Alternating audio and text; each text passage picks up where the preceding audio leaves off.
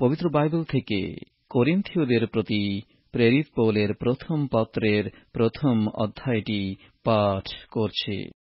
Paul ঈশ্বরের ইচ্ছাক্রমে যীশুখ্রিস্টের আহুত প্রেরিত এবং ভ্রাতা স্বস্তিনী করিন্থে স্থিত ঈশ্বরের মণ্ডলীর সমীপে খ্রিস্ট যিশুতে পবিত্রীকৃত ও আহুত পবিত্রগণের সমীপে এবং যাহারা সর্বস্থানে আমাদের প্রভু যীশু খ্রিস্টের নামে ডাকে, তাহাদের সর্বজন সমীপে। তিনি তাহাদের এবং আমাদের প্রভু। আমাদের পিতা ঈশ্বর এবং প্রভু যীশু খ্রিস্ট হইতে অনুগ্রহ ও শান্তি তোমাদের প্রতি বর্তুক। ঈশ্বরের যে অনুগ্রহ খ্রিস্ট যীশুতে তোমাদিগকে দত্ত হইয়াছে, তাহার জন্য আমি তোমাদের বিষয়ে নিয়ত ঈশ্বরের ধন্যবাদ করিতেছি। কেননা তাহাতেই তোমরা সর্ববিষয়ে, সর্ববিধ বাক্যে ও সর্ববিধ জ্ঞানে ধনবান হইয়াছ।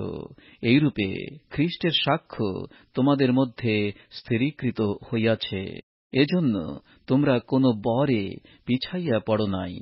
আমাদের প্রভু যীশু খ্রিস্টের প্রকাশের অপেক্ষা করিতেছ। আর তিনি তোমাদিগকে শেষ পর্যন্ত স্থির রাখিবেন। আমাদের প্রভু যীশু খ্রিস্টের দিনে অনিন্দনীয় রাখিবেন। ঈশ্বর বিশ্বাস্য, যাহার দ্বারা তোমরা তাহার পুত্র আমাদের প্রভু যীশু খ্রিস্টের সহভাগিতার নিমিত্ত আহুত হইয়াছ। ভ্রাতৃগণের অনৈক্যের নিমিত্ত অনুযোগ। কিন্তু হে ভ্রাতৃগণ, আমাদের প্রভু যীশু খ্রিস্টের নামে আমি তোমাদিগকে বিনয় করিয়া বলি, তোমরা সকলে একই কথা বলো। তোমাদের মধ্যে দলাদলি না হোক, কিন্তু এক মনে ও এক বিচারে পরিপক্ক হও। কেননা, হে আমার ভ্রাতৃগণ, আমি ক্লোয়ির পরিজনের দ্বারা তোমাদের বিষয়ে সংবাদ পাইয়াছি যে, তোমাদের মধ্যে বিবাদ আছে। আমি এই কথা বলিতেছি যে, তোমরা প্রতিজন বলিয়া থাকো, আমি পৌলের, আর আমি আপল্লোর, আর আমি কৈফার, আর আমি খ্রিস্টের খ্রিস্ট কি বিভক্ত হইয়াছেন? পৌল কি তোমাদের নিমিত্ত ক্রুশে হত হইয়াছে? অথবা পৌলের নামে কি তোমরা বাপ্তায়জিত হইয়াছ? ঈশ্বরের ধন্যবাদ করি যে আমি তোমাদের মধ্যে ক্রিস্প ও গায় ব্যতীত আর কাহাকেও বাপ্তায়জ করি নাই, যেন কেহ না বলে যে তোমরা আমার নামে বাপ্তায়জিত হইয়াছ। আর স্টিফানের পরিজনকেও বাপ্তায়জ করিয়াছি, আর কাহাকেও যে বাপ্তায়জ করিয়াছি তাহা জানি না, কারণ খ্রিস্ট আমাকে বাপ্তায়জ করিবার নিমিত্ত প্রেরণ করেন নাই। কিন্তু সুসমাচার প্রচার করিবার নিমিত্ত। তাহাও বিজ্ঞানের বাক্যে নয়, যেন খ্রিস্টের ক্রুশ বিফল না হয়। খ্রিস্টের ক্রুশ সম্বন্ধীয় সুসমাচারের উৎকৃষ্টতা, কারণ সেই ক্রুশের কথা যাহারা বিনাশ পাইতেছে, তাহাদের কাছে মূর্খতা, কিন্তু পরিত্রাণ পাইতেছি যে আমরা, আমাদের কাছে তাহা ঈশ্বরের পরাক্রম স্বরূপ কারণ লিখিত আছে, আমি জ্ঞানবানদের জ্ঞান নষ্ট করিব, বিবেচক লোকদের বিবেচনা ব্যর্থ করিব। জ্ঞানবান কোথায়? অধ্যাপক কোথায়? এই যুগের বাদানুবাদকারী কোথায়? ঈশ্বর কি জগতের জ্ঞানকে মূর্খতায় পরিণত করেন নাই? কারণ ঈশ্বরের জ্ঞানক্রমে যখন জগৎ নিজ জ্ঞান দ্বারা ঈশ্বরকে জানিতে পায় নাই তখন প্রচারের মূর্খতা দ্বারা বিশ্বাসকারীদের পরিত্রাণ করিতে ঈশ্বরের সুবাসনা হইল। কেননা, যিহুদিরা চিহ্ন চায় এবং গ্রীকেরা জ্ঞানের অন্বেষণ করে। কিন্তু আমরা ক্রুশে হত খ্রিস্টকে প্রচার করি। তিনি যিহুদিদের কাছে বিঘ্ন ও পরজাতিদের কাছে মূর্খতা স্বরূপ কিন্তু যিহুদি ও গ্রীক আহুত সকলের কাছে খ্রিস্ট ঈশ্বরেরই পরাক্রম ও ঈশ্বরেরই জ্ঞানস্বরূপ।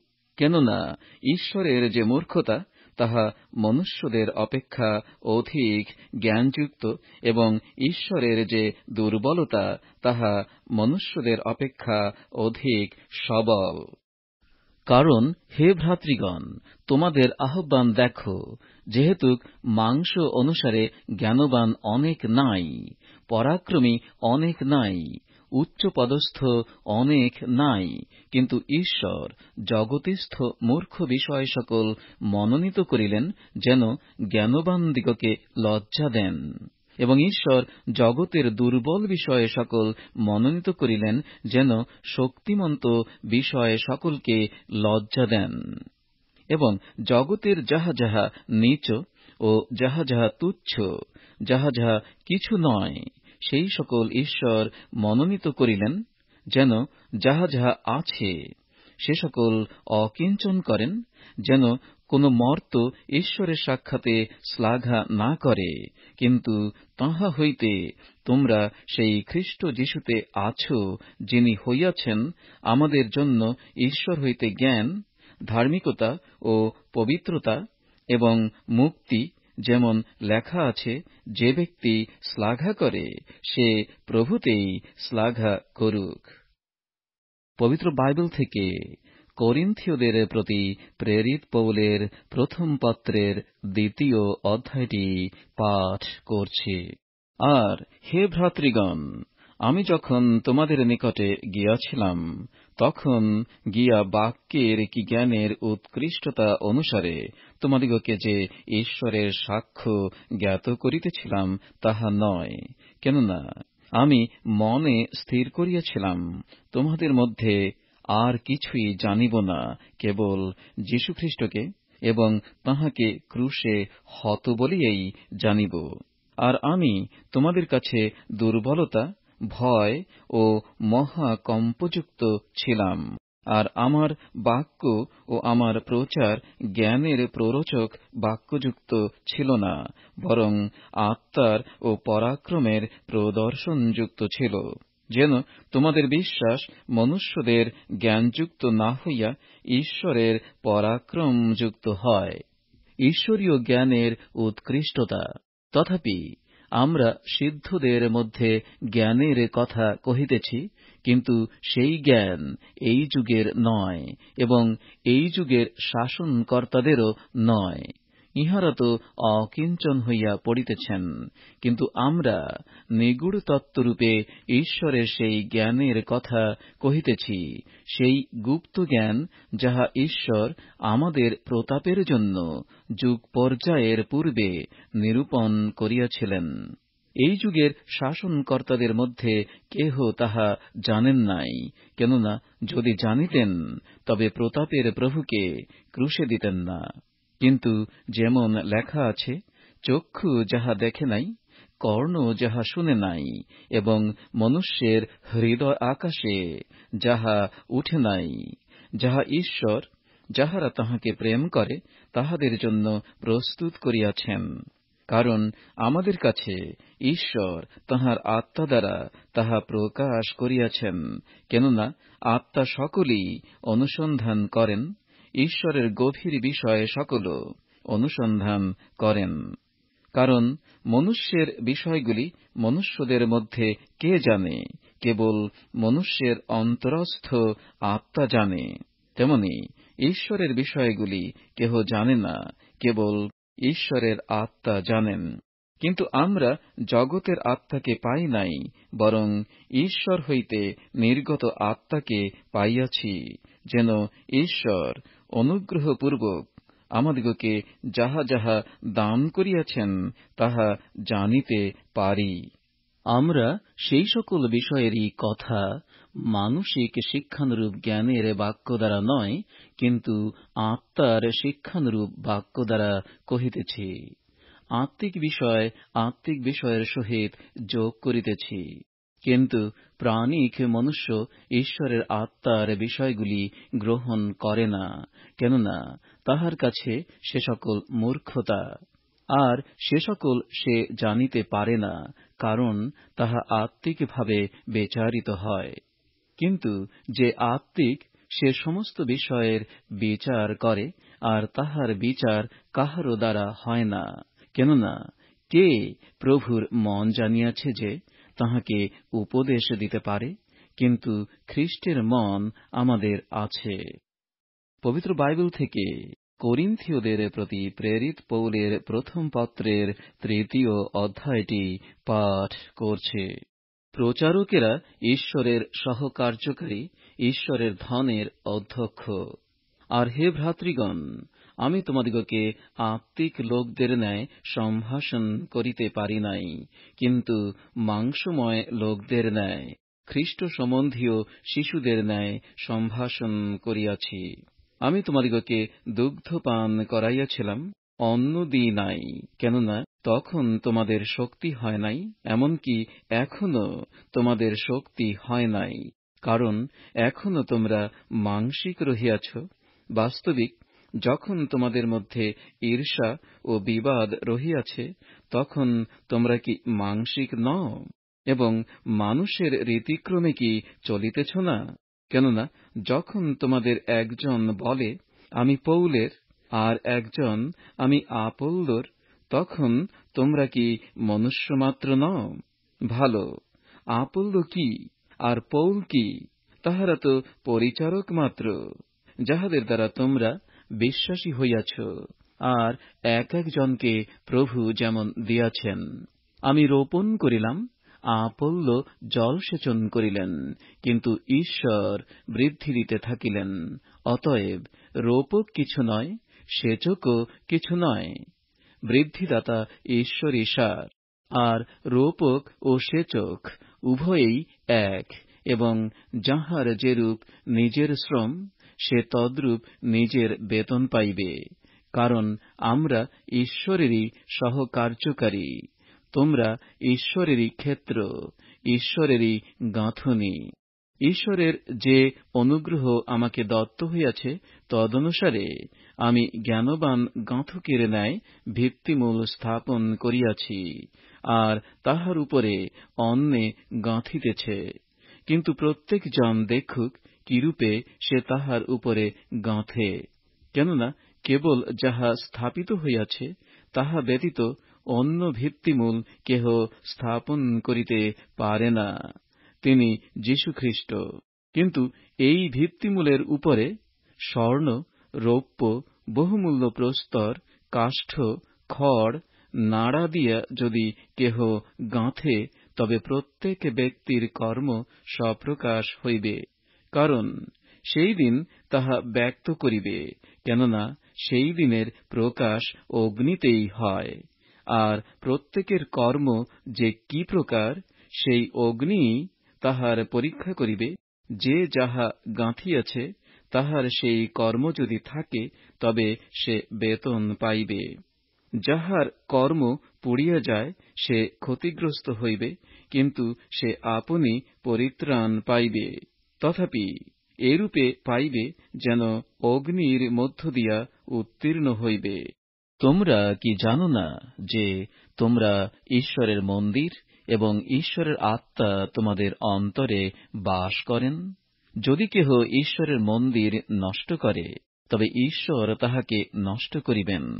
কেননা ঈশ্বরের মন্দির পবিত্র, আর সেই মন্দির তোমরাই কেহ আপনাকে বঞ্চনা না করুক। তোমাদের মধ্যে কোন ব্যক্তি যদি আপনাকে এই যুগে জ্ঞানবান বলিয়া মনে করে, তবে সে জ্ঞানবান হইবার জন্য মূর্খ হোক। যেহেতু এই জগতে যে জ্ঞান, তাহা ঈশ্বরের নিকটে মূর্খতা, কারণ লেখা আছে, তিনি জ্ঞানবানদিগকে তাহাদের ধূর্ততায় ধরেন। পুনশ্চ প্রভু জ্ঞানবানদের তর্ক বিতর্ক জানেন যে সে সকল অসার। অতএব কেহ মনুষ্যদের শ্লাঘা না করুক, কেননা সকলই তোমাদের।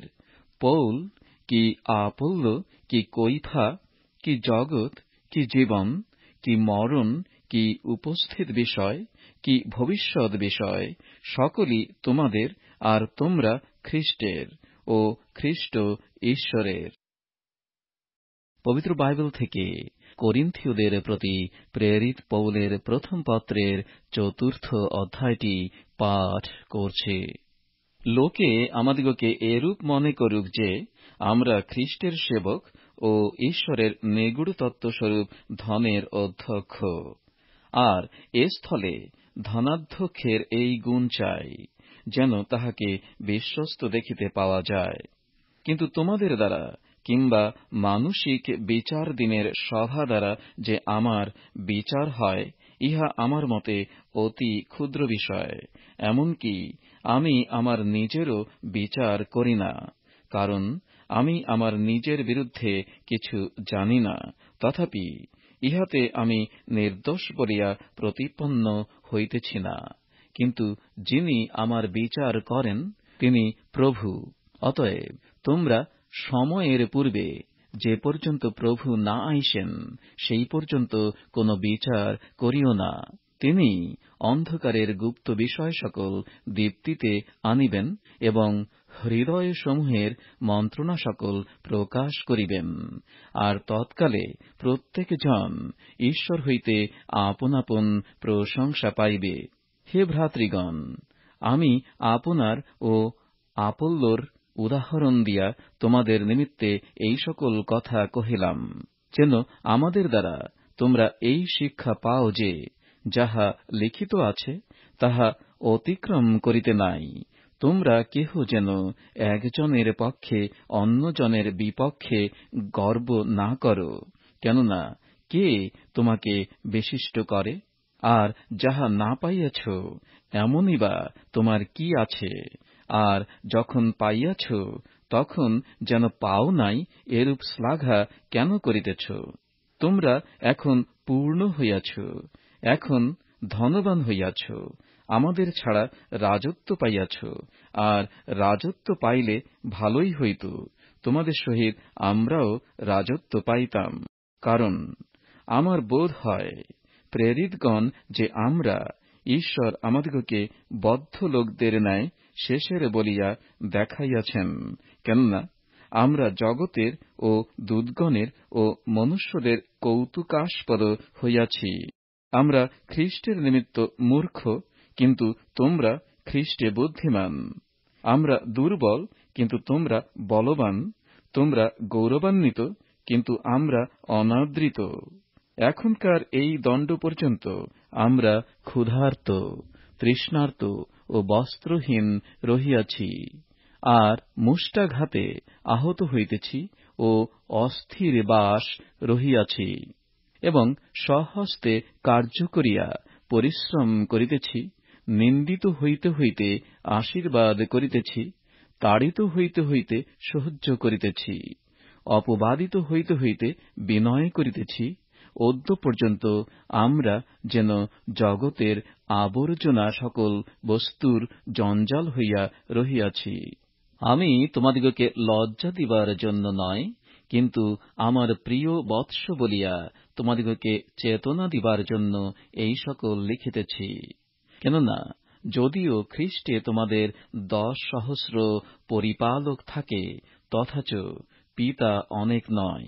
কারণ খ্রিস্ট যিশুতে সুসমাচার দ্বারা আমি তোমাদিগকে জন্ম দিয়াছি। অতএব তোমাদিগকে বিনয় করি, তোমরা আমার অনুকারী হও। এই অভিপ্রায়ে আমি তিমথিওকে তোমাদের নিকটে পাঠাইয়াছি। তিনি প্রভুতে আমার প্রিয় বিশ্বস্ত বৎস। তিনি তোমাদিগকে খ্রিস্ট যীশু সম্বন্ধীয় আমার পন্থা সকল স্মরণ করাইবেন। যাহা আমি সর্বত্র সর্বমণ্ডলীতে শিক্ষা দিয়া থাকি।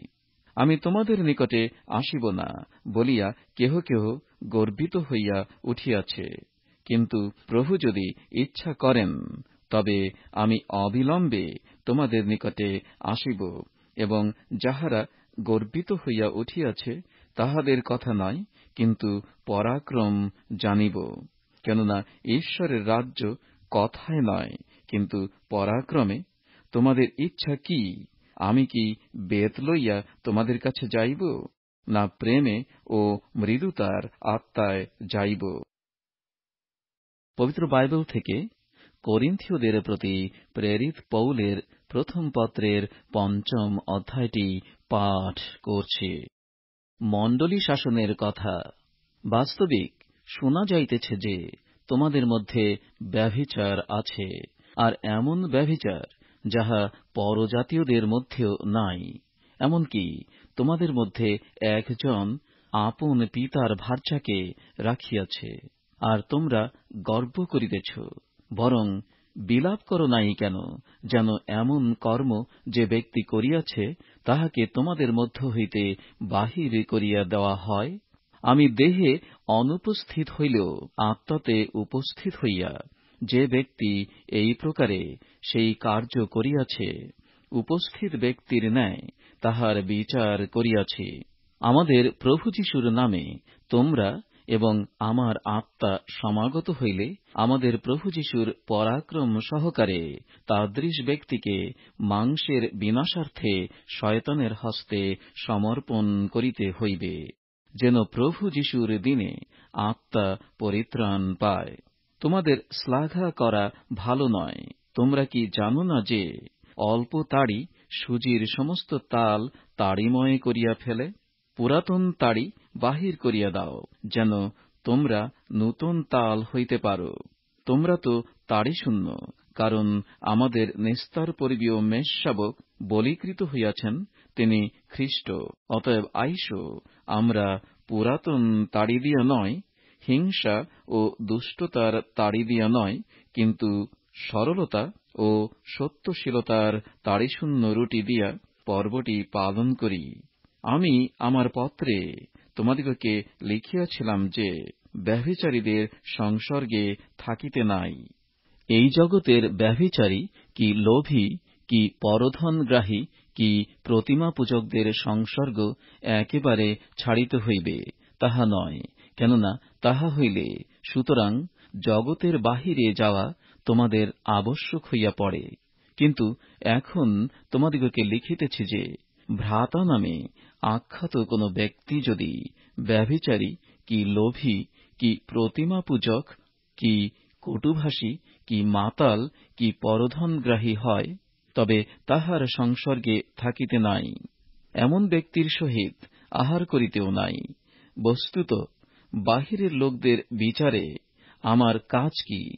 ভিতরের লোকদের বিচার কি তোমরা করো না? কিন্তু বাহিরের লোকদের বিচার ঈশ্বর করিবেন। তোমরা আপনাদের মধ্য হইতে সেই দুষ্টকে বাহির করিয়া দাও। এখন আমরা প্রথম করিন্থীয় ছয় অধ্যায় পাঠ করছি। বিবাদ ও ব্যভিচার বিষয়ক কথা। তোমাদের মধ্যে কি কাহারও সাহস হয় যে আর একজনের বিরুদ্ধে কোন কথা থাকিলে তাহার বিচার পবিত্রগণের কাছে লইয়া না গিয়া অধার্মিকদের কাছে লইয়া যায়? অথবা তোমরা কি জানো না যে পবিত্রগণ জগতের বিচার করিবেন? আর জগতের বিচার যদি তোমাদের দ্বারা হয়, তবে তোমরা কি যৎসামান্য বিষয়ের বিচার করিবার অযোগ্য? তোমরা কি জানো না যে আমরা দূতগণের বিচার করিব?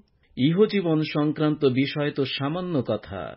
অতএব তোমাদের দ্বারা যদি ইহজীবন সংক্রান্ত বিষয়ের বিচার হয়, তবে মণ্ডলীতে যাহারা কিছুরই মধ্যে গণ্য নয়, তাহাদিগকেই কি বিচারে বসাইয়া থাকো? আমি তোমাদের লজ্জার নিমিত্ত এই কথা কহিতেছি। এ কেমন? তোমাদের মধ্যে কি এমন জ্ঞানবান একজনও নাই যে ভ্রাতায় ভ্রাতায় বিবাদ হইলে তাহার নিষ্পত্তি করিয়া দিতে পারে? কিন্তু ভ্রাতার সহিত ভ্রাতা বিচার স্থানে বিবাদ করে, তাহা আবার অবিশ্বাসীদের কাছে। তোমরা যে পরস্পরের বিরুদ্ধে বিচার চাও, ইহাতে তোমাদের বিশেষ ক্ষতি হইতেছে, বরং অন্যায় সহ্য কর না কেন? বরং বঞ্চিত হও না কেন? কিন্তু তোমরাই অন্যায় করিতেছ, বঞ্চনা করিতেছ, আর তাহা ভ্রাতৃগণের প্রতি করিতেছ। অথবা তোমরা কি জানো না যে, অধার্মিকেরা ঈশ্বরের রাজ্যে অধিকার পাইবে না? ভ্রান্ত হইও না, যাহারা ব্যভিচারী, কি প্রতিমা পূজক কি পারদারিক কি স্ত্রীবৎ আচারী কি পুঙ্গামী কি চোর কি লোভী কি মাতাল কি কটুভাষী কি পরধনগ্রাহী তাহারা ঈশ্বরের রাজ্যে অধিকার পাইবে না। আর তোমরা কেহ কেহ সেই প্রকার লোক ছিলে, কিন্তু তোমরা প্রভু যীশু খ্রিস্টের নামে ও আমাদের ঈশ্বরের আত্মায় আপনাদিগকে ধৌত করিয়াছ, পবিত্রীকৃত হইয়াছ, ধার্মিক গণিত হইয়াছ। সকলই আমার পক্ষে বিধেয়, কিন্তু সকলই যে হিতজনক তাহা নয়। সকলই আমার পক্ষে বিধেয়, কিন্তু আমি কিছুরই কর্তৃত্বাধীন হইব না। খাদ্য উদরের নিমিত্ত এবং উদর খাদ্যের নিমিত্ত, কিন্তু ঈশ্বর উভয়ের লোপ করিবেন। দেহ ব্যভিচারের নিমিত্ত নয়, কিন্তু প্রভুর নিমিত্ত এবং প্রভু দেহের নিমিত্ত। আর ঈশ্বর আপন পরাক্রমের দ্বারা প্রভুকে উঠাইয়াছেন আমাদিগকেও উঠাইবেন। তোমরা কি জানো না যে তোমাদের দেহ খ্রিস্টের অঙ্গ? তবে আমি কি খ্রিস্টের অঙ্গ লইয়া গিয়া বেশ্যার অঙ্গ করিব? তাহা দূরে থাকুক। অথবা তোমরা কি জানো না যে ব্যক্তি বেশ্যাতে সংযুক্ত হয়, সে তাহার সহিত এক দেহ হয়? কারণ তিনি বলেন, সে দুইজন একাঙ্গ হইবে, কিন্তু যে ব্যক্তি প্রভুতে সংযুক্ত হয়, সে তাহার সহিত একাত্মা হয়। তোমরা ব্যভিচার হইতে পলায়ন কর। মনুষ্য অন্য যে কোন পাপ করে, তাহা তাহার দেহের বহির্ভূত। কিন্তু যে ব্যভিচার করে, সে নিজ দেহের বিরুদ্ধে পাপ করে। অথবা তোমরা কি জানো না যে তোমাদের দেহ পবিত্র আত্মার মন্দির? যিনি তোমাদের অন্তরে থাকেন, যাহাকে তোমরা ঈশ্বর হইতে প্রাপ্ত হইয়াছ, আর তোমরা নিজের নও, কারণ মূল্য দ্বারা কৃত হইয়াছ, অতএব তোমাদের দেহে ঈশ্বরের গৌরব কর। এখন আমরা প্রথম করিন্থীয় সাত অধ্যায় পাঠ করছি। বিবাহ বিষয়ক কথা। আবার তোমরা যে সকল কথা লিখিয়াছ, তাহার বিষয়। স্ত্রীলোককে স্পর্শ না করা মনুষ্যের ভালো, কিন্তু ব্যভিচার নিবারণের জন্য প্রত্যেক পুরুষের নিজের নিজের ভার্যা থাকুক এবং প্রত্যেক স্ত্রীর নিজের নিজের স্বামী থাকুক। স্বামী স্ত্রীকে তাহার প্রাপ্য দিউক আর তদ্রূপ স্ত্রীও স্বামীকে দিউক। নিজ দেহের উপরে স্ত্রীর কর্তৃত্ব নাই, কিন্তু স্বামীর আছে। আর তদ্রূপ নিজ দেহের উপরে স্বামীর কর্তৃত্ব নাই, কিন্তু স্ত্রীর আছে। তোমরা একজন অন্যকে বঞ্চিত করিও না, কেবল প্রার্থনার নিমিত্তে অবকাশ পাইবার জন্য উভয়ে এক পরামর্শ হইয়া কিছুকাল পৃথক থাকিতে পার। পরে পুনর্বার একত্র হইবে, যেন শয়তান তোমাদের অসংযমতা প্রযুক্ত তোমাদিগকে পরীক্ষায় না ফেলে। কিন্তু আমি আজ্ঞার মতো নয়, কেবল অনুমতির মতো একথা কহিতেছি। আর আমার ইচ্ছা এই যে, সকল মনুষ্যই আমার মতো হয়, কিন্তু প্রত্যেকজন ঈশ্বর হইতে আপন আপন অনুগ্রহ দান পাইয়াছে, একজন এক প্রকার, অন্যজন অন্য প্রকার। পরন্তু অবিবাহিত লোকদের ও বিধবাদের কাছে আমার কথা এই, তাহারা যদি আমার মতো থাকিতে পারে, তবে তাহাদের পক্ষে তাহাই ভালো। কিন্তু তাহারা যদি ইন্দ্রিয় দমন করিতে না পারে, তবে বিবাহ করুক, কেননা আগুনে জ্বলা অপেক্ষা বরং বিবাহ করা ভালো।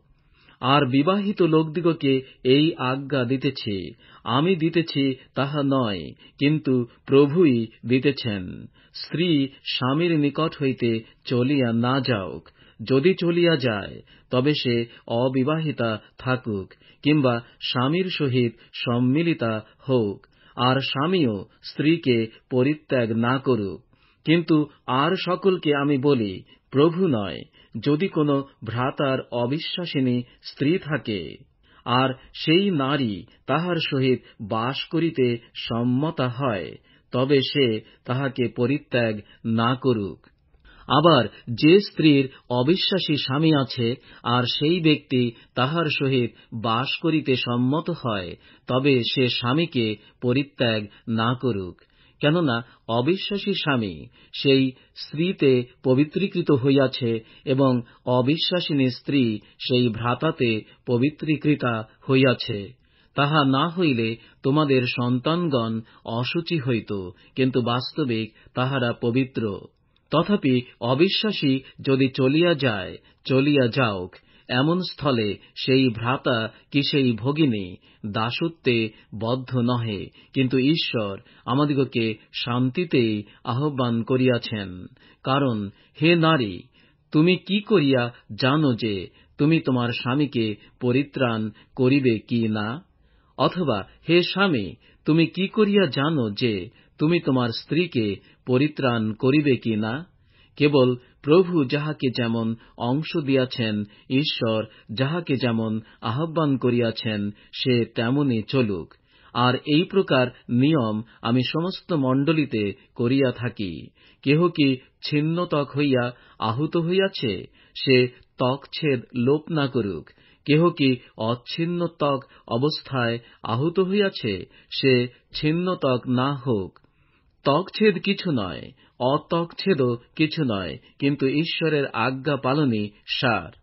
যে ব্যক্তি যে আহ্বানে আহত হইয়াছে, সে তাহাতেই থাকুক। তুমি কি দাস হইয়াই আহত হইয়াছ? ভাবিত হইও না, কিন্তু যদি স্বাধীন হইতে পারো, বরং তাহা অবলম্বন করো। কেননা প্রভুতে আহত যে দাস, সে প্রভুর স্বাধীনীকৃত লোক। তদ্রূপ আহত যে স্বাধীন লোক, সে খ্রিস্টের দাস। তোমরা মূল্য দ্বারা কৃত হইয়াছ, মনুষ্যদের দাস হইও না। হে ভ্রাতৃগণ, প্রত্যেক জন যে অবস্থায় আহত হইয়াছে, সেই অবস্থায় ঈশ্বরের কাছে থাকুক। আর কুমারীদের বিষয়ে আমি প্রভুর কোন আজ্ঞা পাই নাই, কিন্তু বিশ্বস্ত হইবার জন্য প্রভুর দয়াপ্রাপ্ত লোকের ন্যায় আমার মত প্রকাশ করিতেছি, ফলে আমার বোধ হয় উপস্থিত সংকট প্রযুক্ত ইহাই ভালো, অর্থাৎ অমনি থাকা মনুষ্যের পক্ষে ভালো। তুমি কি স্ত্রীর সঙ্গে সম্বন্ধ? মুক্ত হইতে চেষ্টা করিও না। তুমি কি স্ত্রী হইতে মুক্ত? স্ত্রীর চেষ্টা করিও না। কিন্তু বিবাহ করিলেও তোমার পাপ হয় না। আর কুমারী যদি বিবাহ করে, তবে তাহারও পাপ হয় না। তথাপি এইরূপ লোকদের দৈহিক ক্লেশ ঘটিবে, আর তোমাদের প্রতি আমার মমতা হইতেছে। কিন্তু আমি এই কথা বলিতেছি, ভ্রাতৃগণ, সময় সংকুচিত, এখন হইতে যাহাদের স্ত্রী আছে, তাহারা এমন চলুক যেন তাহাদের স্ত্রী নাই, এবং যাহারা রোদন করিতেছে, তাহারা যেন রোদন করিতেছে না।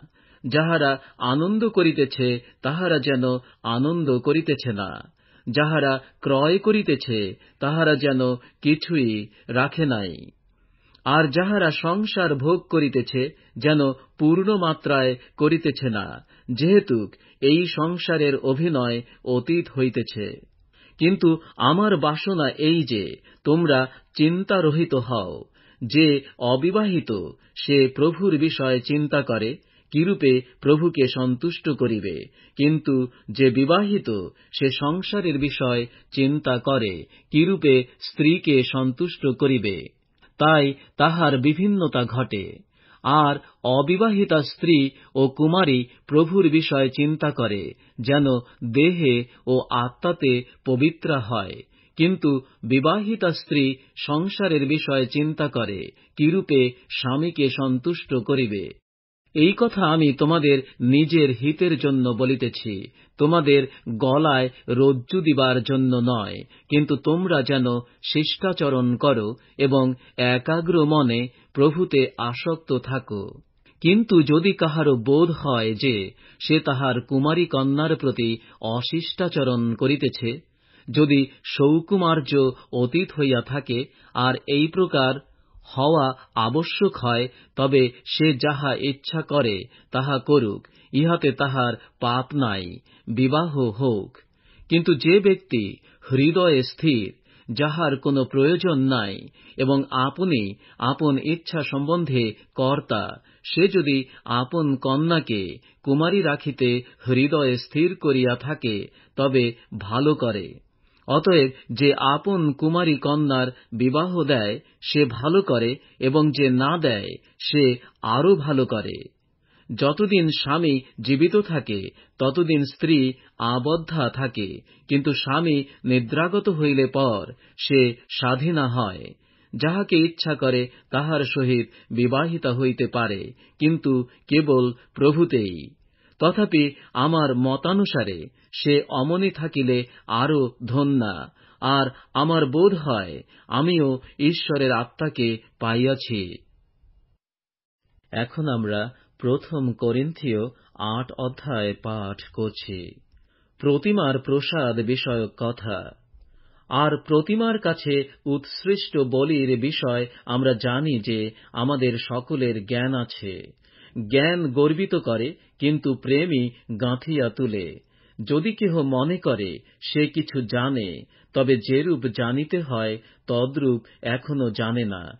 কিন্তু যদি কেহ ঈশ্বরকে প্রেম করে, সেই তাহার জানা লোক। ভালো, প্রতিমার কাছে উৎসৃষ্ট বলি ভোজনের বিষয়ে আমরা জানি, প্রতিমা জগতে কিছুই নয়, এবং ঈশ্বর এক ছাড়া দ্বিতীয় নাই। কেননা, কি স্বর্গে, কি পৃথিবীতে যাহাদিগকে দেবতা বলা যায়, এমন কতকগুলি যদিও আছে, বাস্তবিক অনেক দেবতা ও অনেক প্রভু আছে। তথাপি আমাদের জ্ঞানে একমাত্র ঈশ্বর সেই পিতা, যাহা হইতে সকলই হইয়াছে, ও আমরা যাহারই জন্য এবং একমাত্র প্রভু সেই যীশুখ্রিস্ট, যাহার দ্বারা সকলই হইয়াছে এবং আমরা যাহারই দ্বারা বিদ্যমান আছি। তবে কিনা সকলের এই জ্ঞান নাই, কিন্তু কতক লোক অদ্যাপি প্রতিমার সংস্রবে থাকায় প্রতিমার কাছে উৎসৃষ্ট বলি জ্ঞানেই বলি ভোজন করে এবং তাহাদের বিবেক দুর্বল বলিয়া কলুষিত হয়, কিন্তু খাদ্যদ্রব্য আমাদিগকে ঈশ্বরের কাছে গ্রাহ্য করায় না। ভোজন না করিলে আমাদের ক্ষতি হয় না, ভোজন করিলেও আমাদের বৃদ্ধি হয় না। কিন্তু সাবধান, তোমাদের এই ক্ষমতা যেন কোন ক্রমে দুর্বলদের ব্যাঘাতজনক না হয়। কারণ, তোমার তো জ্ঞান আছে। তোমাকে যদি কেহ দেবালয়ে ভোজনে বসিতে দেখে, তবে সে দুর্বল লোক বলিয়া তাহার বিবেক কি প্রতিমার কাছে উৎসৃষ্ট বলি ভোজন করিতে সাহস পাইবে না? বস্তুত, তোমার জ্ঞান দ্বারা সেই ভ্রাতা যাহার নিমিত্ত খ্রিস্ট মরিয়াছেন, সেই দুর্বল ব্যক্তি বিনষ্ট হয়। এইরূপে ভ্রাতৃগণের বিরুদ্ধে পাপ করিলে ও তাহাদের দুর্বল বিবেকে আঘাত করিলে তোমরা খ্রিস্টের বিরুদ্ধে পাপ কর। অতএব খাদ্যদ্রব্য যদি আমার ভ্রাতার বিঘ্ন জন্মায়, তবে আমি কি কখনো মাংস ভোজন করিব না, পাছে আমার ভ্রাতার বিঘ্ন জন্মাই? এখন আমরা প্রথম করিন্থীয় নয় অধ্যায় পাঠ করছি। পৌলের প্রেরিতত্ব বিষয়ক কথা। আমি কি স্বাধীন নই? আমি কি প্রেরিত নই? আমাদের প্রভু যীশুকে আমি কি দেখি নাই? তোমরাই কি প্রভুতে আমার কৃত কর্ম নও? আমি যদ্যপি অন্য লোকদের জন্য প্রেরিত না হই, তথাপি তোমাদের জন্য বটে, কেননা প্রভুতে তোমরাই আমার প্রেরিত পদের মুদ্রাঙ্ক। যাহারা আমার পরীক্ষা করে, তাহাদের কাছে আমার উত্তর এই। ভোজন পান করিবার অধিকার কি আমাদের নাই? অন্য সকল প্রেরিত ও প্রভুর ভ্রাতৃগণ ও কৈফা ইহাদের ন্যায় কোন ধর্মভগিনীকে বিবাহ করিয়া সঙ্গে লইয়াই নানা স্থানে যাইবার অধিকার কি আমাদের নাই? কিংবা পরিশ্রম ত্যাগ করিবার অধিকার কি কেবল আমার ও বার্ণবার নাই? কে কখন আপনি ধন ব্যয় করিয়া যুদ্ধে যায়? কে দ্রাক্ষাক্ষেত্র প্রস্তুত করে আর তাহার ফল না খায়? অথবা কে পাল চড়ায় আর পালের দুগ্ধ না খায়? আমি কি মানুষের মতো এ সকল কথা কহিতেছি, অথবা ব্যবস্থায়ও কি ইহা বলে না? কারণ মসির ব্যবস্থায় লেখা আছে, শস্য মর্দনকারী বলদের মুখে জালতি বাঁধিও না। ঈশ্বর কি বলদেরই বিষয়ে চিন্তা করেন? কিংবা সর্বদা আমাদের নিমিত্ত ইহা কহেন। বস্তুত, আমাদেরই নিমিত্ত ইহা লিখিত হইয়াছে, কারণ যে চাষ করে, প্রত্যাশাতেই চাষ করা তাহার উচিত, এবং যে শস্য মাড়ে, ভাগ পাইবার প্রত্যাশাতেই শস্য মাড়া তাহার উচিত। আমরা যখন তোমাদের কাছে আত্মিক বীজ বপন করিয়াছি, তখন যদি তোমাদের মাংসিক ফল গ্রহণ করি তবে তাহা কি মহৎ বিষয়? যদি তোমাদের উপরে কর্তৃত্ব করিবার অন্য লোকদের অধিকার থাকে, তবে আমাদের কি আরও অধিকার নাই? তথাচ আমরা এই কর্তৃত্ব ব্যবহার করি নাই, বরং সকলই সহ্য করিতেছি, যেন খ্রিস্টের সুসমাচারের কোন বাধা না জন্মায়। তোমরা কি জানো না যে পবিত্র বিষয়ের কার্য যাহারা করে তাহারা পবিত্র স্থানের বস্তু খায় এবং যজ্ঞবেদীর সেবা যাহারা করে, তাহারা যজ্ঞবেদীর সহিত অংশী হয়। সেইরূপে প্রভু সুসমাচার প্রচারকদের জন্য এই বিধান করিয়াছেন যে, তাহাদের উপজীবিকা সুসমাচার হইতে হইবে। কিন্তু আমি ইহার কিছুই ব্যবহার করি নাই, আর আমার সম্বন্ধে যে এরূপ করা হইবে, সেজন্য আমি এসকল লিখিতেছি না। কেননা কেহ যে আমার শ্লাঘা নিষ্ফল করিবে, তাহা অপেক্ষা বরং আমার মরণ ভালো। কারণ আমি যদিও সুসমাচার প্রচার করি, তবু আমার শ্লাঘা করিবার কিছুই নাই, কেননা অবশ্য বহনীয় ভার আমার উপরে অর্পিত। ধিক আমাকে, যদি আমি সুসমাচার প্রচার না করি, বস্তুত আমি যদি স্ব-ইচ্ছায় ইহা করি, তবে আমার পুরস্কার আছে। কিন্তু যদি স্ব-ইচ্ছায় না করি, তবু ধনাধ্যক্ষের কার্য আমার হস্তে সমর্পিত রহিয়াছে। তবে আমার পুরস্কার কি? তাহা এই যে সুসমাচার প্রচার করিতে করিতে আমি সেই সুসমাচারকে ব্যয়রহিত করি, যেন সুসমাচার সম্বন্ধে যে কর্তৃত্ব আমার আছে, তাহার পূর্ণ ব্যবহার না করি। কারণ সকলের অনধীন হইলেও আমি সকলের দাসত্ব স্বীকার করিলাম, যেন অধিক লোককে লাভ করিতে পারি। আমি যিহুদিদিগকে লাভ করিবার জন্য যিহুদিদের কাছে যিহুদির ন্যায় হইলাম, আপনি ব্যবস্থার অধীন না হইলেও আমি ব্যবস্থার অধীন লোকদিগকে লাভ করিবার জন্য ব্যবস্থাধীন দিগের কাছে ব্যবস্থাধীনের ন্যায় হইলাম। আমি ঈশ্বরের ব্যবস্থাবিহীন নই, বরং খ্রিস্টের ব্যবস্থার অনুগত রহিয়াছি। তথাপি ব্যবস্থাবিহীন লোকদিগকে লাভ করিবার জন্য ব্যবস্থাবিহীনদের কাছে ব্যবস্থাবিহীনের ন্যায় হইলাম। দুর্বল দিগকে লাভ করিবার জন্য আমি দুর্বলদের কাছে দুর্বল হইলাম। সর্বদা কতকগুলি লোককে পরিত্রাণ করিবার জন্য আমি সর্বজনের কাছে সর্ববিধ হইলাম। আমি সকলই সুসমাচারের জন্য করি, যেন তাহার সহভাগী হই। তোমরা কি জানো না যে, দৌড়ের স্থলে যাহারা দৌড়ে, তাহারা সকলে দৌড়ে, কিন্তু কেবল একজন পুরস্কার পায়। তোমরা এরূপে দৌড়ো, যেন পুরস্কার পাও। আর যে কেহ মল্লযুদ্ধ করে, সে সর্ববিষয়ে ইন্দ্রিয় দমন করে।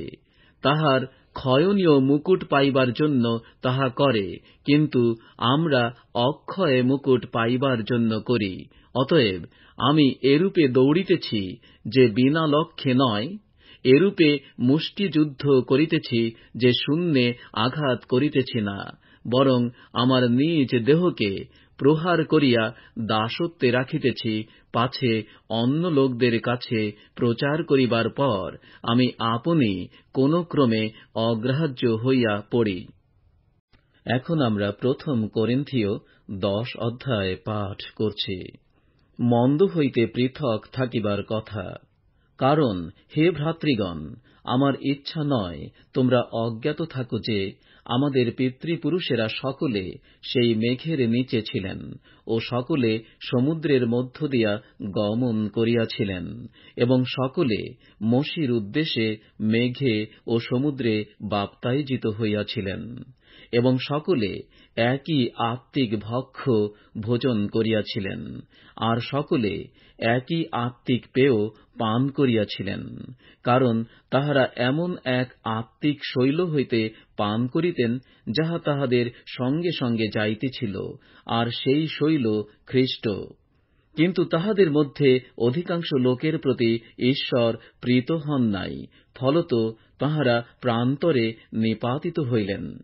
এই সকল বিষয় আমাদের দৃষ্টান্তস্বরূপ ঘটিয়াছিল, যেন তাঁহারা যেমন অভিলাষ করিয়াছিলেন, আমরা তেমনি মন্দ বিষয়ের অভিলাষ না করি। আবার যেমন তাহাদের মধ্যে কতক লোক হইয়াছিল, তোমরা তেমনি প্রতিমা পূজক হইও না। যথা লিখিত আছে, লোকেরা ভোজন পান করিতে বসিল, পরে ক্রীড়া করিতে উঠিল। আর যেমন তাহাদের মধ্যে কতক লোক ব্যভিচার করিয়াছিল এবং একদিনে তেইশ হাজার লোক মারা পড়িল, আমরা যেন তেমনি ব্যভিচার না করি। আর যেমন তাহাদের মধ্যে কতক লোক পরীক্ষা করিয়াছিল এবং সর্পের দ্বারা বিনষ্ট হইয়াছিল, আমরা যেন তেমনি প্রভুর পরীক্ষা না করি। আর যেমন তাহাদের মধ্যে কতক লোক বচসা করিয়াছিল এবং সংহারকের দ্বারা বিনষ্ট হইয়াছিল তোমরা তেমনি বচসা করিও না। এই সকল তাহাদের প্রতি দৃষ্টান্তস্বরূপ ঘটিয়াছিল এবং আমাদেরই চেতনার জন্য লিখিত হইল। আমাদের, যাহাদের উপর যুগকলাপের অন্ত আসিয়া পড়িয়াছে। অতএব যে মনে করে, আমি দাঁড়াইয়া আছি, সে সাবধান হোক, পাছে পড়িয়া যায়। মনুষ্য যাহা সহ্য করিতে পারে তাহা ছাড়া অন্য পরীক্ষা তোমাদের প্রতি ঘটে নাই, আর ঈশ্বর বিশ্বাস্য, তিনি তোমাদের প্রতি তোমাদের শক্তির অতিরিক্ত পরীক্ষা ঘটিতে দিবেন না। বরং পরীক্ষার সঙ্গে সঙ্গে রক্ষার পথও করিয়া দিবেন, যেন তোমরা সহ্য করিতে পারো। অতএব হে আমার প্রিয়েরা, প্রতিমা পূজা হইতে পলায়ন কর। আমি তোমাদিগকে বুদ্ধিমান জানিয়া বলিতেছি আমি যাহা বলি, তোমরাই বিচার কর। আমরা ধন্যবাদের যে পানপাত্র লইয়া ধন্যবাদ করি, তাহা কি খ্রিস্টের রক্তের সহভাগিতা নয়? আমরা যে রুটি ভাঙ্গি, তাহা কি খ্রিস্টের শরীরের সহভাগিতা নয়? কারণ অনেকে যে আমরা আমরা এক রুটি, এক শরীর, কেননা আমরা সকলে সেই এক রুটির অংশীদার। মাংসের সম্বন্ধে যাহারা ইসরায়েল, তাহাদিগকে দেখো। যাহারা বলি, ভোজন করে, তাহারা কি যজ্ঞবেদীর সহভাগী নয়? তবে আমি কি বলিতেছি, প্রতিমার কাছে উৎসৃষ্ট বলি কি কিছুরই মধ্যে গণ্য, অথবা প্রতিমা কি কিছুরই মধ্যে গণ্য? বরং পরজাতিগণ যাহা যাহা বলিদান করে, তাহা ভূতদের উদ্দেশ্যে বলিদান করে। ঈশ্বরের উদ্দেশ্যে নয়। আর আমার এমন ইচ্ছা নয় যে তোমরা ভূতদের সহভাগী হও। প্রভুর পানপাত্র ও ভূতদের পানপাত্র, তোমরা এই উভয় পাত্রে পান করিতে পারো না।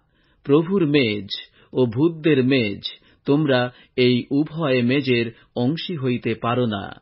অথবা আমরা কি প্রভুর অন্তর্জালা জন্মাইতেছি?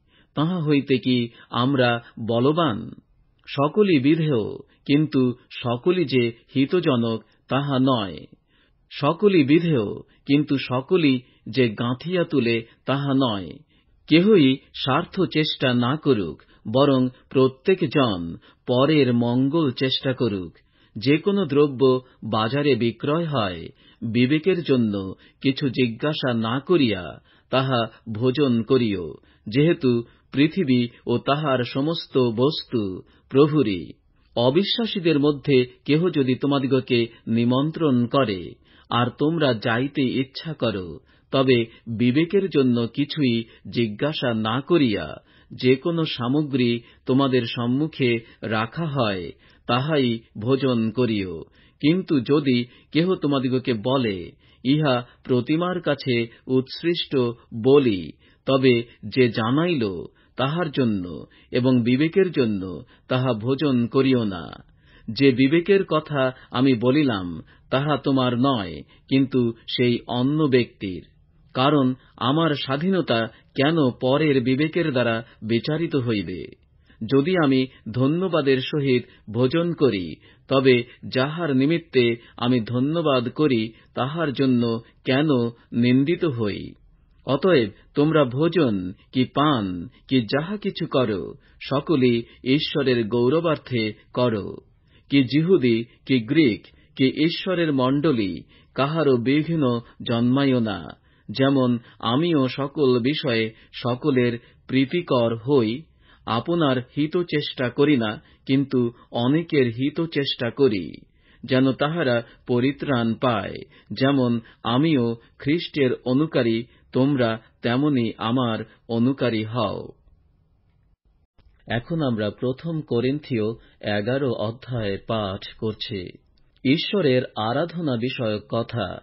আমি তোমাদের প্রশংসা করিতেছি যে তোমরা সকল বিষয়ে আমাকে স্মরণ করিয়া থাকো এবং তোমাদের কাছে শিক্ষামালা যেরূপ সমর্পণ করিয়াছি, সেইরূপই তাহা ধরিয়া আছ।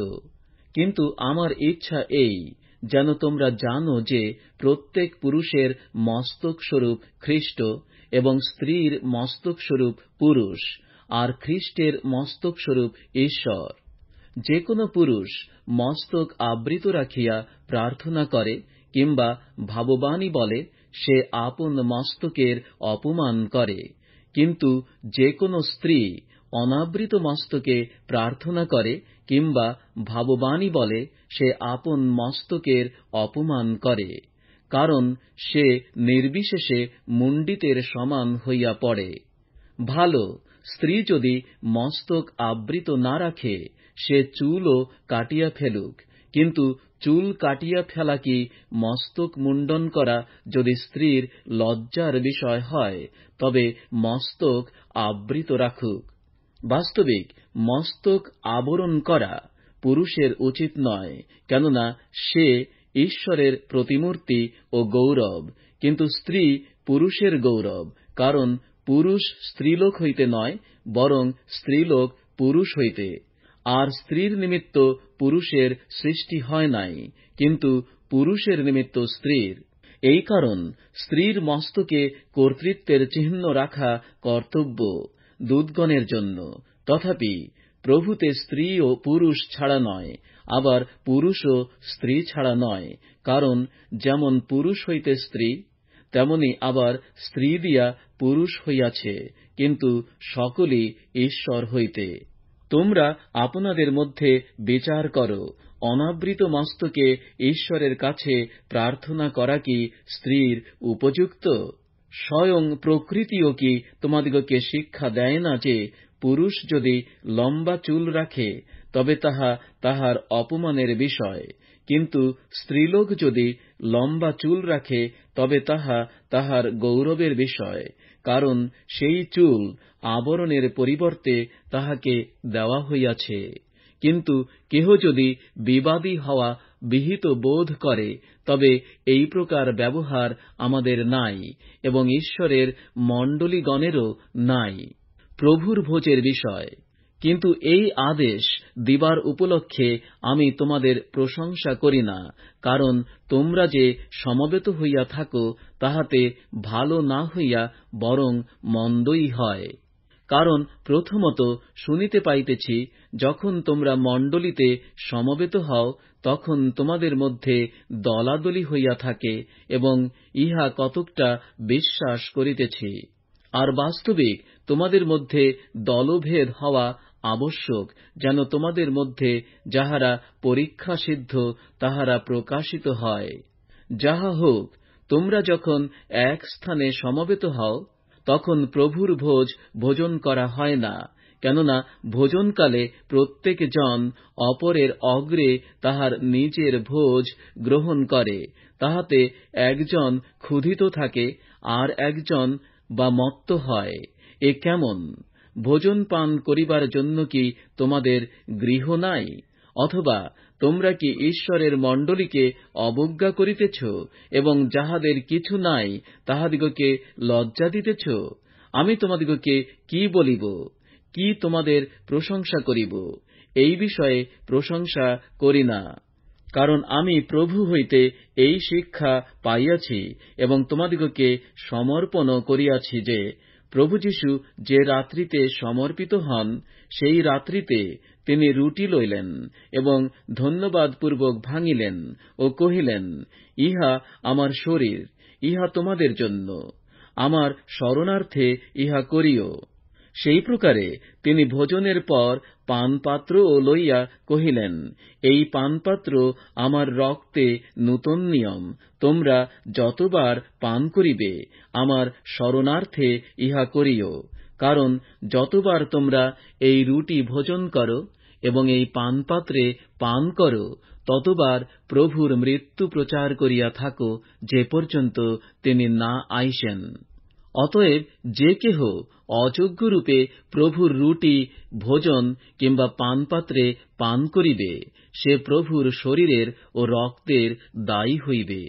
কিন্তু মনুষ্য আপনার পরীক্ষা করুক এবং এই প্রকারে সেই রুটি ভোজন ও সেই পানপাত্রে পান করুক। কেননা যে ব্যক্তি ভোজন ও পান করে, সে যদি তাহার শরীর না চিনে, তবে সে নিজের বিচারাজ্ঞা ভোজন পান করে। এই কারণ তোমাদের মধ্যে বিস্তর লোক দুর্বল ও পীড়িত আছে এবং অনেকে নিদ্রাগত হইতেছে। আমরা যদি আপনাদিগকে আপনারা চিনিতাম, তবে আমরা বিচারিত হইতাম না।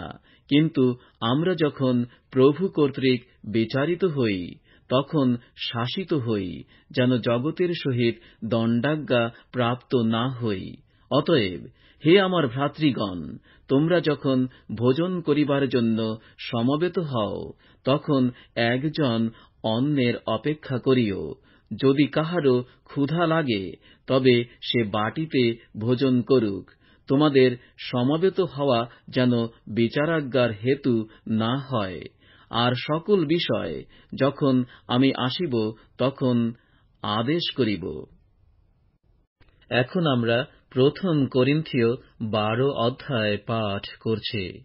পবিত্র আত্মার বিবিধ অনুগ্রহ দান। আর হে ভ্রাতৃগণ আত্মিক দান সকলের বিষয়ে তোমরা যে অজ্ঞাত থাকো, আমার এ ইচ্ছা নয়। তোমরা জানো, যখন তোমরা পরজাতীয় ছিলে, তখন যেমন চালিত হইতে, তেমনি অবাক প্রতিমাগণের দিকেই চালিত হইতে।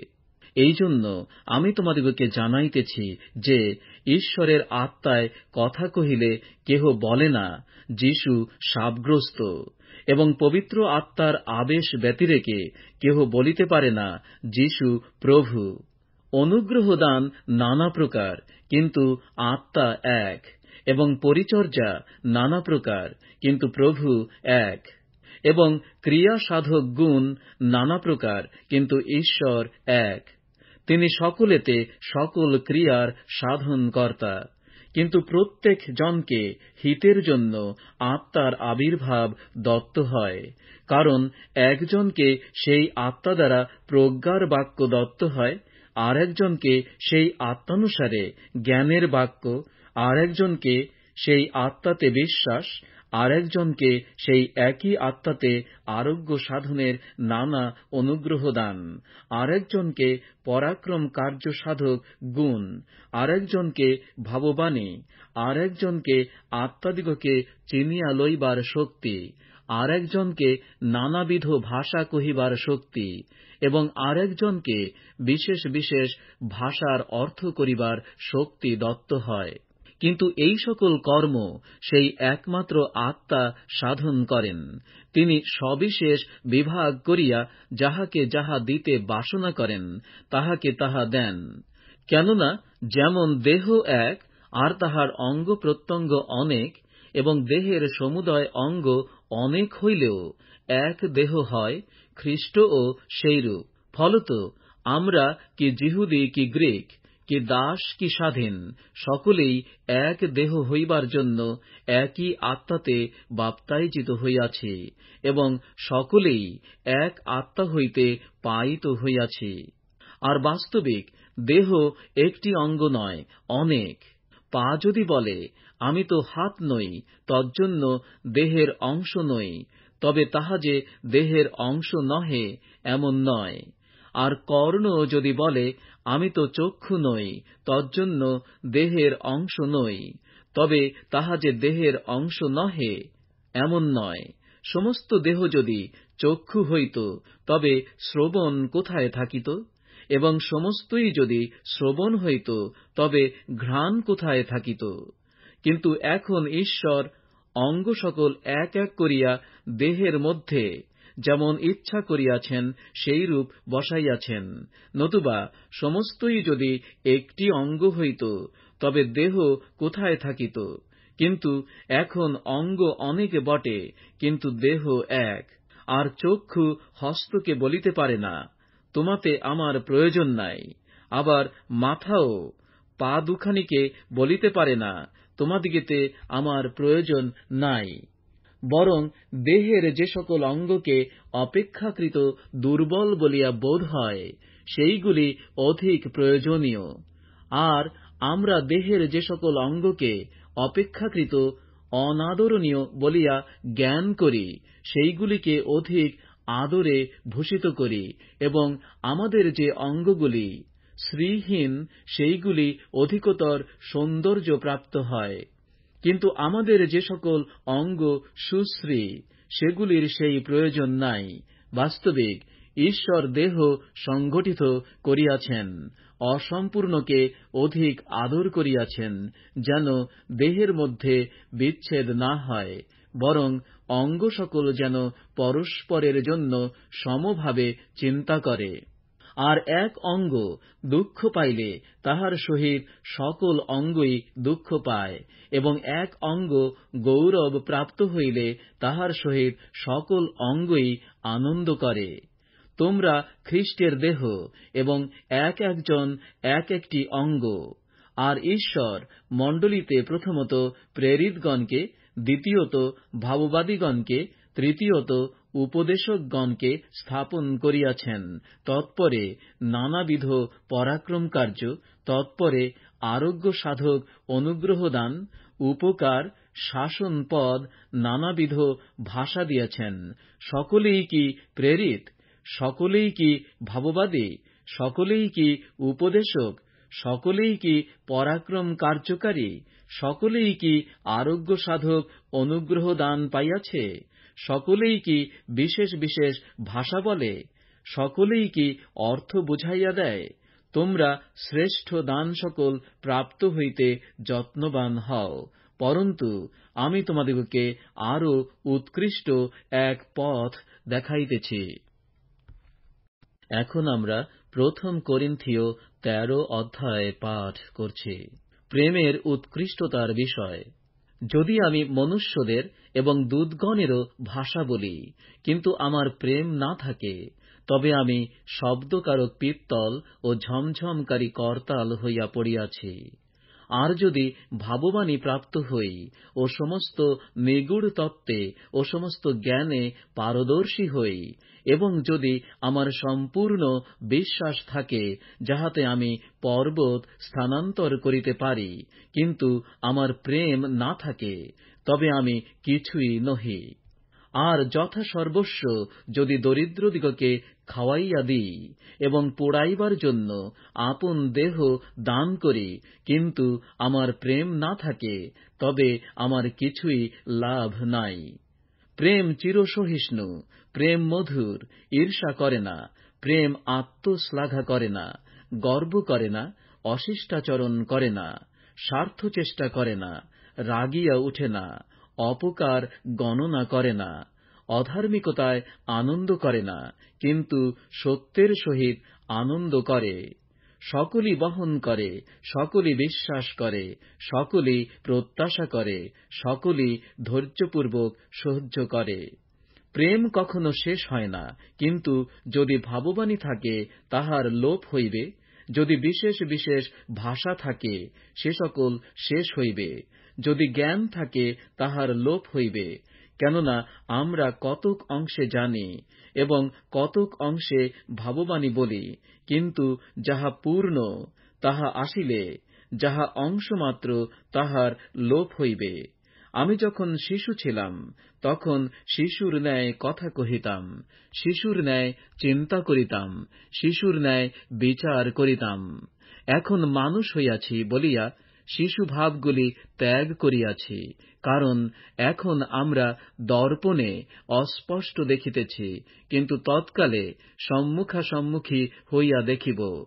এখন আমি কতক অংশে জানিতে পাই, কিন্তু তৎকালে আমি আপনি যেমন পরিচিত হইয়াছি, তেমনি পরিচয় পাইব। আর এখন বিশ্বাস, প্রত্যাশা, প্রেম এই তিনটি আছে, আর ইহাদের মধ্যে প্রেমই শ্রেষ্ঠ। এখন আমরা প্রথম করিন্থীয় চৌদ্দ অধ্যায় পাঠ করছি। ভাববাণী বলিবার ও বিশেষ ভাষায় কথা বলিবার বিষয়। তোমরা প্রেমের অনুধাবন করো, আবার আত্মিক বর সকলের জন্য উদ্যোগী হও, বিশেষত যেন ভাববাণী বলিতে পারো। কেননা যে ব্যক্তি বিশেষ ভাষায় কথা বলে, সে মানুষের কাছে নয়, কিন্তু ঈশ্বরের কাছে বলে, কারণ কেহ তাহা বুঝে না, বরং সে আত্মায় নিগুড় তত্ত্ব বলে।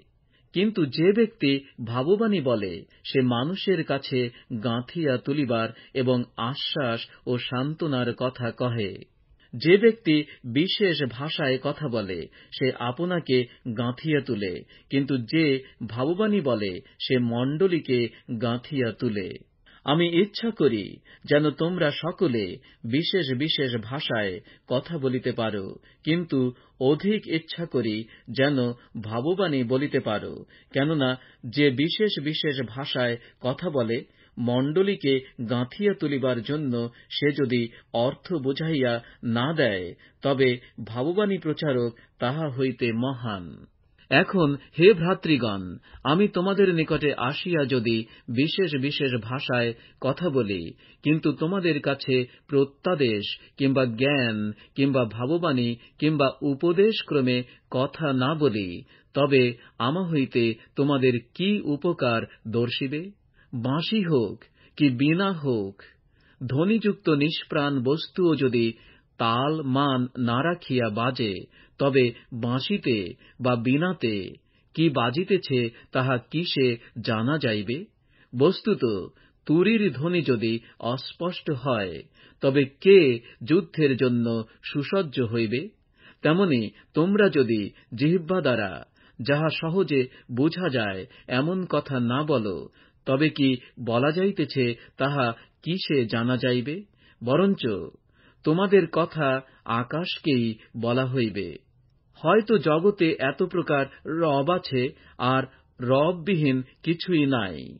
ভালো, আমি যদি রব বিশেষের অর্থ না জানি, তবে যে জন বলে, তাহার পক্ষে আমি বর্বর হইব, এবং আমার পক্ষে সেই বক্তা বর্বর। অতএব তোমরা যখন বিবিধ আত্মিক বরের জন্য উদ্যোগী, তখন চেষ্টা করো যেন মণ্ডলীকে গাঁথিয়া তুলিবার জন্য উপচয় প্রাপ্ত হও। এই জন্য যে ব্যক্তি বিশেষ ভাষায় কথা বলে, সে প্রার্থনা করুক যেন অর্থ বুঝাইয়া দিতে পারে।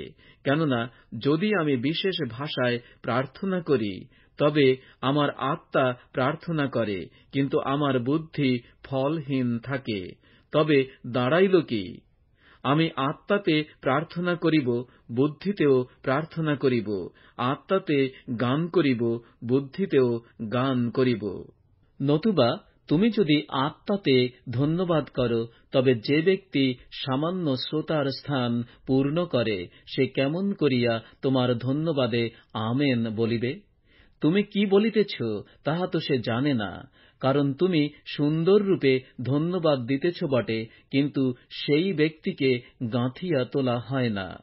ঈশ্বরের ধন্যবাদ করিতেছি, তোমাদের সকলের অপেক্ষা আমি অধিক ভাষায় কথা বলিয়া থাকি, কিন্তু মণ্ডলীর মধ্যে বিশেষ ভাষায় দশ সহস্র কথা অপেক্ষা বরং বুদ্ধি দ্বারা পাঁচটি কথা কহিতে চাই, যেন অন্য লোকদিগকেও শিক্ষা দিতে পারি। ভ্রাতৃগণ, তোমরা বুদ্ধিতে বালক হইও না, বরঞ্চ হিংসাতে শিশুগণের ন্যায় হও, কিন্তু বুদ্ধিতে পরিপক্ক হও। ব্যবস্থায় লেখা আছে, আমি পরভাষীদের দ্বারা এবং পরদেশীয়দের ওষ্ঠ দ্বারা এই জাতির কাছে কথা কহিব, কিন্তু তাহা করিলেও তাহারা আমার কথা শুনিবে না, ইহা প্রভু বলেন। অতএব সেই বিশেষ বিশেষ ভাষা বিশ্বাসীদের নিমিত্ত নয়, বরং অবিশ্বাসীদেরই নিমিত্ত চিহ্নস্বরূপ। কিন্তু ভাববাণী অবিশ্বাসীদের নিমিত্ত নয়, বরং বিশ্বাসীদেরই নিমিত্ত।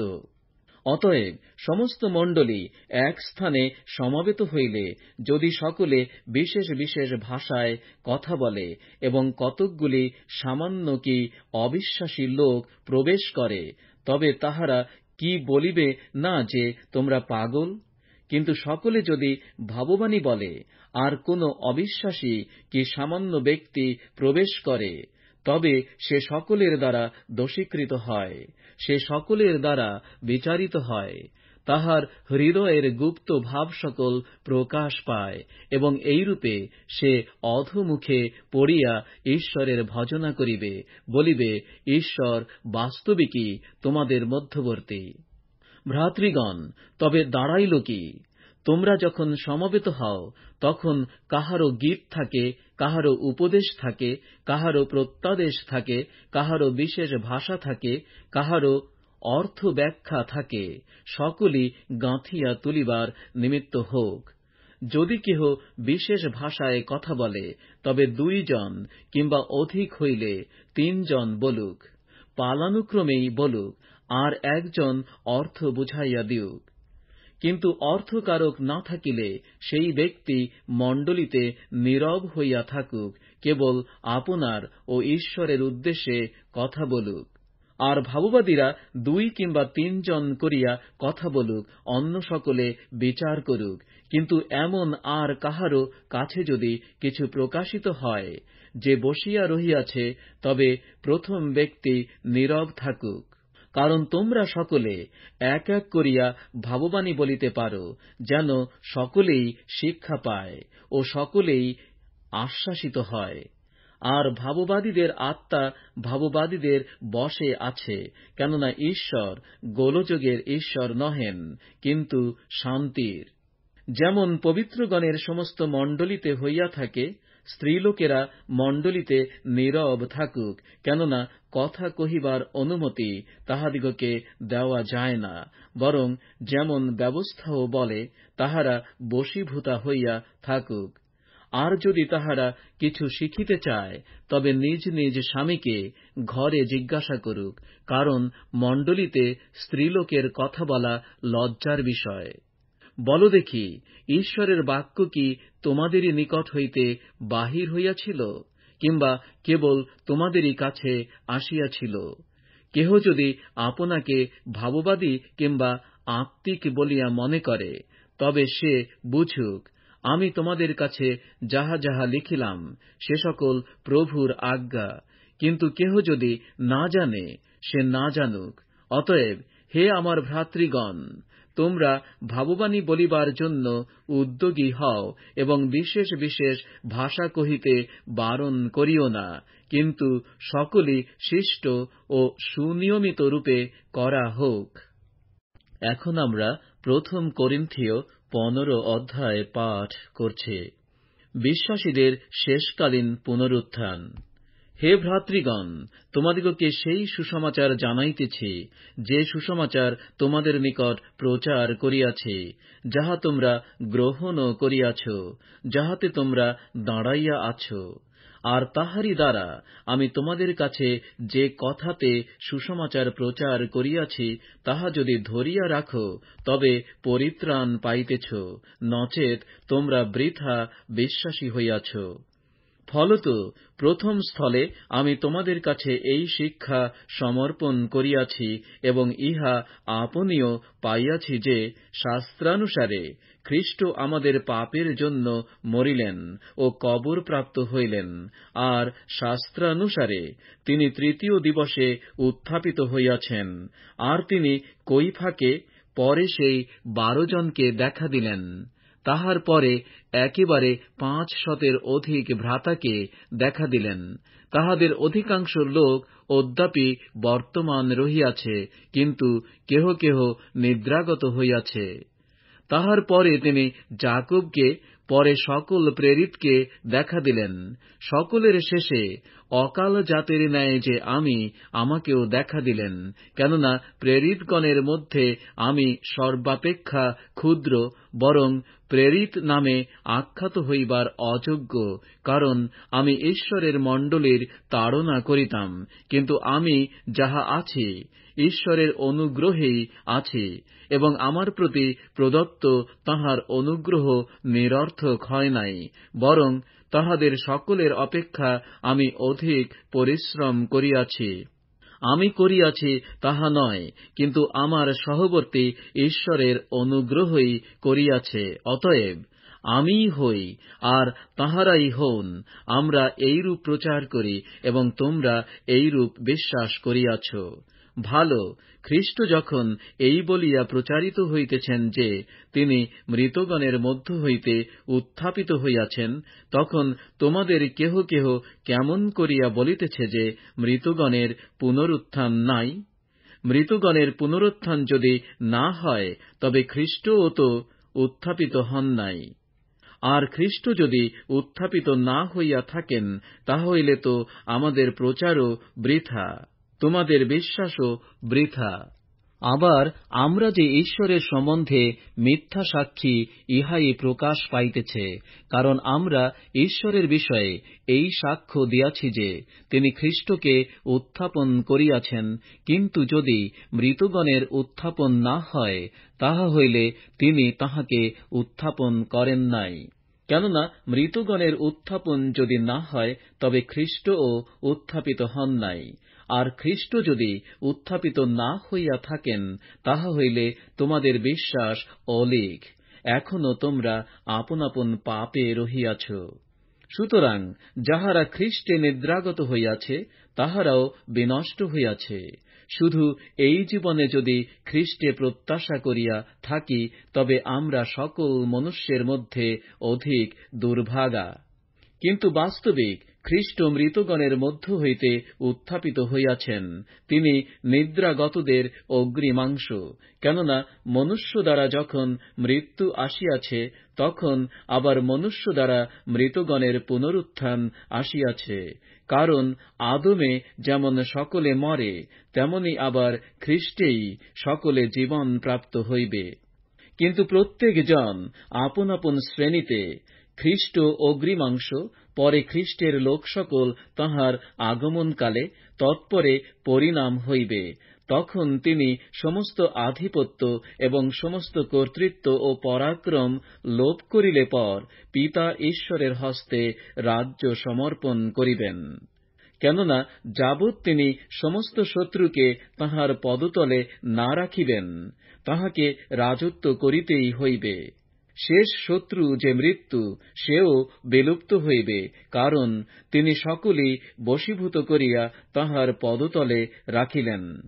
কিন্তু যখন তিনি বলেন যে সকলই বশীভূত করা হইয়াছে, তখন স্পষ্ট দেখা যায়, যিনি সকলই তাঁহার বশীভূত করিলেন, তাহাকে বাদ দেওয়া হইল। আর সকলেই তাহার বশীভূত করা হইলে পর, পুত্র আপনিও তাহার বশীভূত হইবেন, যিনি সকলই তাহার বশে রাখিয়াছিলেন, যেন ঈশ্বরই সর্বে সর্বা হন। নতুবা মৃতদের নিমিত্ত যাহারা বাপ্তায়জিত হয়, তাহারা কি করিবে? মৃতেরা যদি একেবারেই উত্থাপিত না হয়, তাহা হইলে উহাদের নিমিত্ত তাহারা আবার কেন বাপ্তায়জিত হয়? আর আমরাই বা কেন ঘণ্টায় ঘণ্টায় বিপদের মধ্যে পড়ি। ভ্রাতৃগণ, আমাদের প্রভু খ্রীষ্ট যিশুতে তোমাদের বিষয়ে আমার যে শ্লাঘা, তাহার দোহাই দিয়া বলিতেছি, আমি প্রতিদিন মরিতেছি। ইফিসে পশুদের সহিত যে যুদ্ধ করিয়াছি, তাহা যদি মানুষের মতো করিয়া থাকি, তবে তাহাতে আমার কি ফল দর্শে? মৃতেরা যদি উত্থাপিত না হয়, তবে আইসো আমরা ভোজন পান করি, কেননা কল্ল মরিব, ভ্রান্ত হইও না, কুসংসর্গ শিষ্টাচার নষ্ট করে, ধার্মিক হইবার জন্য চেতন হও, পাপ করিও না, কেননা কাহারো কাহারো ঈশ্বর জ্ঞান নাই। আমি তোমাদের লজ্জার নিমিত্ত এই কথা কহিতেছি। কিন্তু কেহ বলিবে, মৃতেরা কি প্রকারে উত্থাপিত হয়? কি প্রকার দেহেই বা আইসে? হে নির্বোধ, তুমি আপনি যাহা বুনো, তাহা না মরিলে জীবিত করা যায় না। আর যাহা বুনো, যে দেহ উৎপন্ন হইবে, তুমি তাহা বুনো না।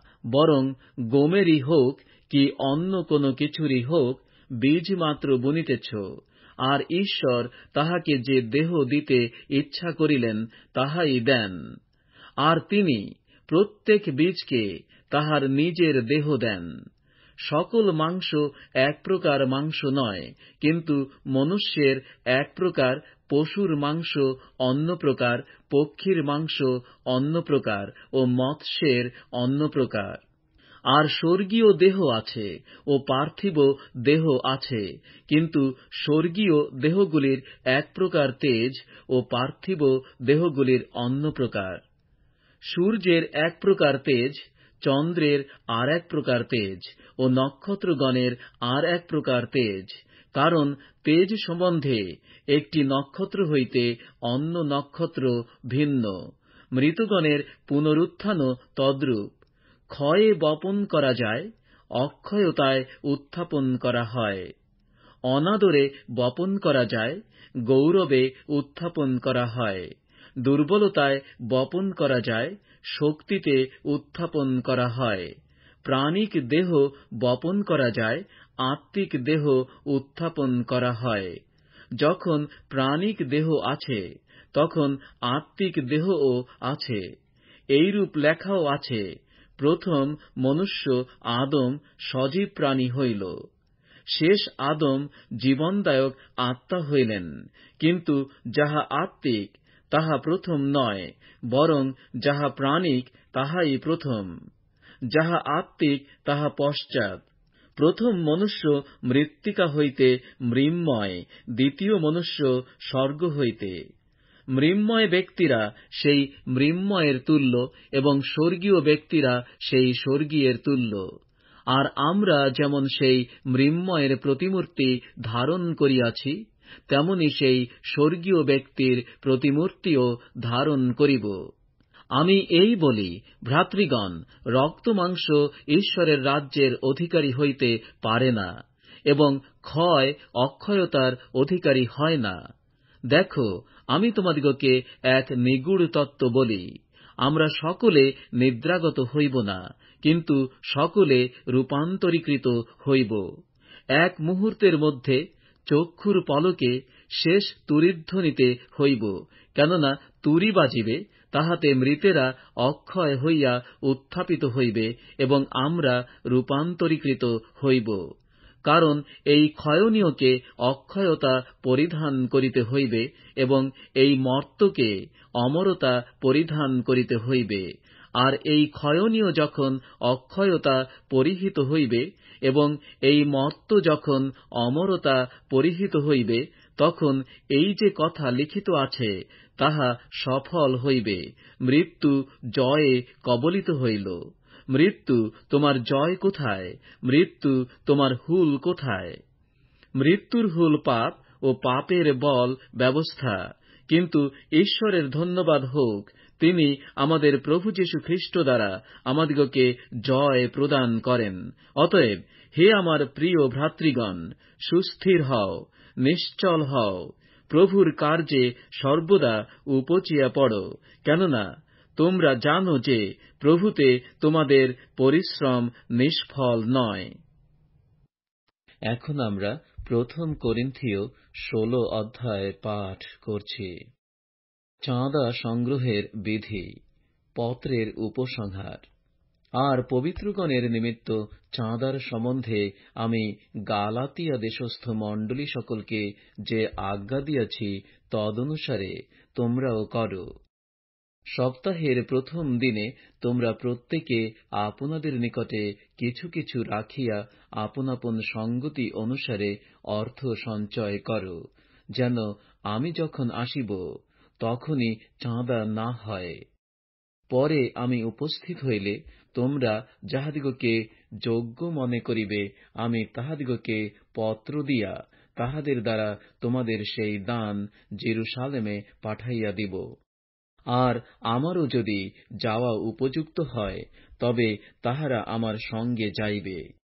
মাকিদনীয় দেশ দিয়া যাত্রা সমাপ্ত হইলেই আমি তোমাদের ওখানে যাইব, কেননা আমি মাকিদনিয়া দেশ দিয়া যাইতে উদ্যত আছি, আর হয়তো তোমাদের নিকটে কিছুদিন অবস্থিতি করিব। কি জানি, শীতকালও যাপন করিব, তাহা হইলে আমি যেখানেই যাই তোমরা আমাকে আগাইয়া দিয়া আসিতে পারিবে, কেননা তোমাদের সহিত এবার পথ ঘটিত সাক্ষাৎ করিতে বাসনা করি না, কারণ আমার প্রত্যাশা এই যে, যদি প্রভুর অনুমতি হয়, আমি তোমাদের কাছে কিছুকাল থাকিব। কিন্তু পঞ্চাশত্তমী পর্যন্ত আমি ইফিসে আছি কারণ আমার সম্মুখে এক দ্বার খোলা রহিয়াছে, তাহা বৃহৎ ও কার্য সাধক, আর বিপক্ষ অনেক। তিমথিও যদি আইসেন, তবে দেখিও যেন তিনি তোমাদের কাছে নির্ভয়ে থাকেন, কেননা যেমন আমি করি, তেমনি তিনি প্রভুর কার্য করিতেছেন। অতএব কেহ তাহাকে হেয় জ্ঞান না করুক। কিন্তু তাহাকে শান্তিতে আগাইয়া দিবে, যেন তিনি আমার নিকটে আসিতে পারেন, কারণ আমি অপেক্ষা করিতেছি যে তিনি ভ্রাতৃগণের সহিত আসিবেন। আর আপল্য ভ্রাতার বিষয়ে বলিতেছি আমি তাহাকে অনেক বিনতি করিয়াছিলাম, যেন তিনি ভ্রাতৃগণের সহিত তোমাদের কাছে যান, কিন্তু এখন যাইতে কোন প্রকারে তাহার ইচ্ছা হইল না, সুযোগ পাইলেই যাইবেন। তোমরা জাগিয়া থাকো, বিশ্বাসে দাঁড়াইয়া থাকো, বীরত্ব দেখাও, বলবান হও। তোমাদের সকল কার্য প্রেমে হোক। আর হে ভ্রাতৃগণ, তোমাদিগকে নিবেদন করিতেছি তোমরা স্তিফানের পরিজনকে জানো, তাহারা আখায়া দেশের অগ্রিমাংশ এবং পবিত্রগণের পরিচর্যায় আপনাদিগকে নিযুক্ত করিয়াছেন। তোমরাও এই প্রকার লোকদের এবং যতজন কার্যে সাহায্য করেন ও পরিশ্রম করেন, সেই সকলের বশবর্তী হও। স্তিফানের, ফর্তুনাতের ও আখাইকের আগমনে আমি আনন্দ করিতেছি, কেননা তোমাদের ত্রুটি তাহারা পূর্ণ করিয়াছেন, কারণ তাহারা আমার এবং তোমাদেরও আত্মাকে আপ্যায়িত করিয়াছেন। অতএব তোমরা এই প্রকার লোকদিগকে চিনিয়া মান্য করিও। এশিয়ার মণ্ডলী সকল তোমাদিগকে মঙ্গলবাদ করিতেছে। আকিলা ও প্রিস্কা এবং তাহাদের গৃহস্থিত মণ্ডলী তোমাদিগকে প্রভুতে অনেক মঙ্গলবাদ করিতেছেন। ভ্রাতৃগণ সকলে তোমাদিগকে মঙ্গলবাদ করিতেছেন। তোমরা পবিত্র চুম্বনে পরস্পর মঙ্গলবাদ কর। আমার মঙ্গলবাদ আমি পৌল স্বহস্তে লিখিলাম। কোন ব্যক্তি যদি প্রভুকে ভালো না বাসে, তবে সে সাবগ্রস্ত হোক। মারান আথা প্রভু আসিতেছেন, প্রভু যীশু খ্রিস্টের অনুগ্রহ তোমাদের সহবর্তী হোক। খ্রিস্ট যীশুতে আমার প্রেম তোমাদের সকলের সহবর্তী হোক।